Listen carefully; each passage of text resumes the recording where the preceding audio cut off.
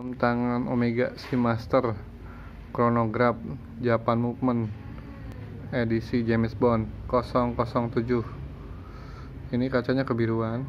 Di kacanya ada print tulisan Quantum of Solace. Ini sayang ada gores di kaca ya. Tapi jamnya kelihatan keren gagah maco. Ring bezel muter klik.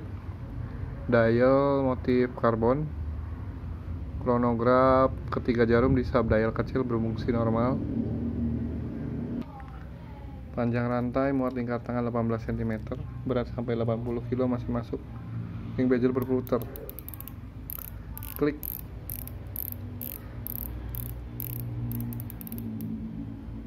Ini crownnya mengunci rapat.